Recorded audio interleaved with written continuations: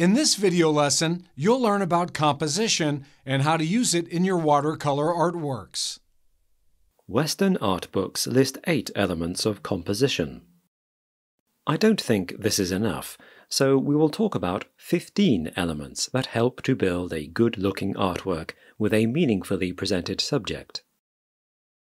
So, in my opinion, the main elements of composition are unity, focus, balance, symmetry, proportions, including the golden ratio, contrast, statics, dynamics, movement, rhythm, pattern, subordination, influence, links, and guidance. Don't worry if some points do not make sense yet. We will go through them one by one. Number 1.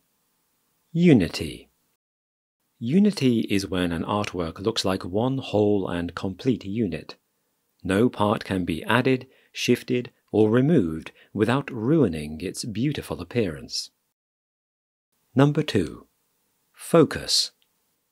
The focal center of an artwork is the spot that the viewer's eyes are drawn to. It is not necessarily the geometrical center of an artwork. Still, the focal center is the most important place in an artwork.